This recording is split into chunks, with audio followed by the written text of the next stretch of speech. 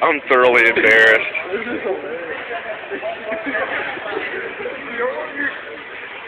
what did she say?